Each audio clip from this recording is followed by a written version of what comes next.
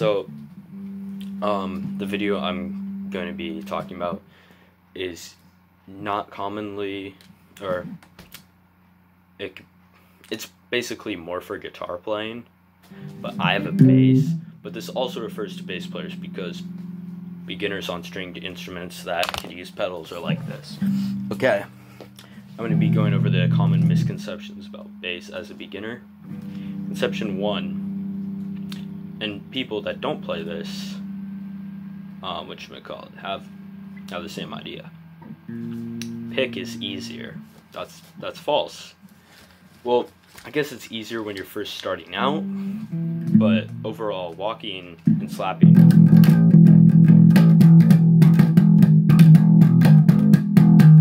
That was slapping. Um, no, it's not easier because you once you learn how to walk right uh, on your bass, walking is this. You could. It's way easier to walk faster than picking, so I would disagree. I wouldn't say one's harder than the other, but one is definitely more beginner friendly, which is pick. I use pick because it's just more comfortable for me. And anyways, I have smaller fingers. Most, yeah.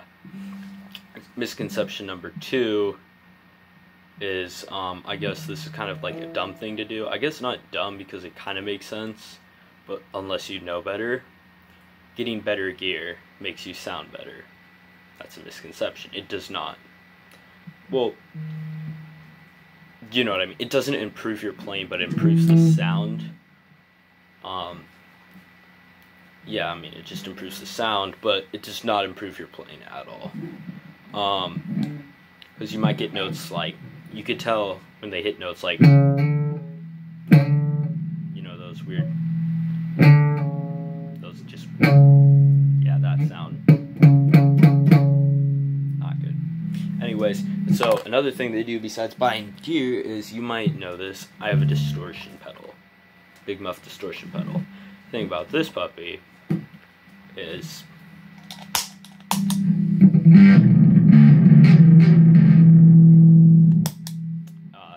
i have it turned up really loud. Uh, but anyways um, so my phone can get the frequency that's why i have it up so loud. Because when it's quiet it can't pick up the frequencies. Anyways um and no you you could tell if you play i mean even if you don't play an instrument you could tell when someone's a beginner. It just doesn't sound right. Um and so that does not mean if you use a pedal you're a beginner that's not what it means some of the best guitar and bass players use pedals i mean probably the best bass players and guitar players use pedals um, because if they're trying to get a certain sound, that doesn't cut it just without a pedal. So, like I say, using a pedal does not mean you're a beginner. But if you don't know how to play bass or guitar, don't buy a bunch of pedals and new gear. Learn how to play the instrument first new gear will not make you better at playing guitar or bass. Um, misconception number three is actually between bass and guitar. Four strings on a bass, and the bass players usually go slower than the guitar players. So, guitar is harder. No. That's, that's just bullshit. Um, if anybody tells you that, they're kind of a dumbass because, especially with the speed part, like, um, it's opinionated if bass or guitar is harder. Um, I think they're both equally as hard. But the thing about guitar, why you can go faster, is because these strings are so much thicker than guitar strings. This neck is is way bigger than a is bigger than a guitar neck, and that's because the strings are thicker. My thinnest string is about as is like one and a half times as big as a as a guitar's thickest string. So when it's thicker, it's harder to move.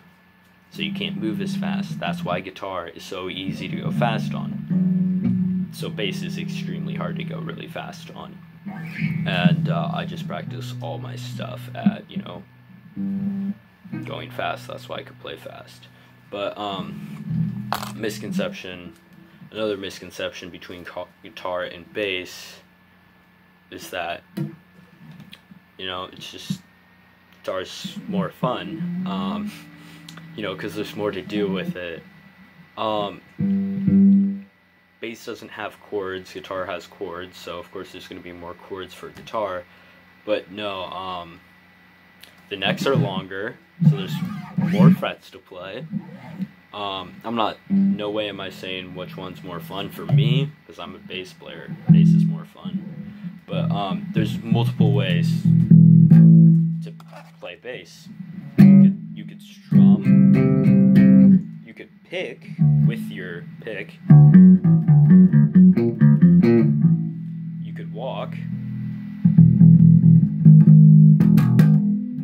slap, and then you could, you know, hit with your fingers like. And then there's this weird picking thing where you basically.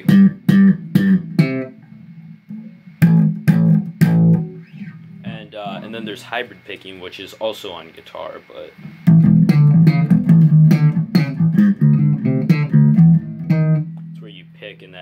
Like this with your middle finger or these fingers to walk.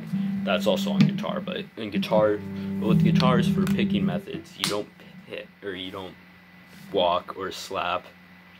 You can slap, but it doesn't sound as good. Um, yeah, most guitar players do pick. Um, there is hybrid picking, which is on guitars, is where you finger pick. You can finger pick on guitar.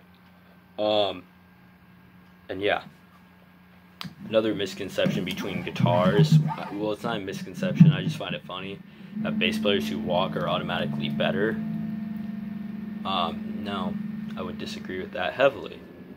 Um, well, I wouldn't heavily disagree with that. I'd say it's yeah. I don't know. I'll just say it doesn't matter if you would takes. I don't think either of them take. I think they have equal amount of skill um, but no, and then guitar players they say that, and then they pick and don't. Hardly any of them finger pick. They just pick with a pick. So I just find that kind of hypocritical. But anyways, um, that is my misconceptions and misunderstandings about bass and some guitar. I hope you guys do enjoy. Smash that like. I'm just kidding. Do not. I don't give a shit if you smash the like button or not. Whatever the fuck you want to do you fucking rape that like button, I wouldn't give two shits. But thank you.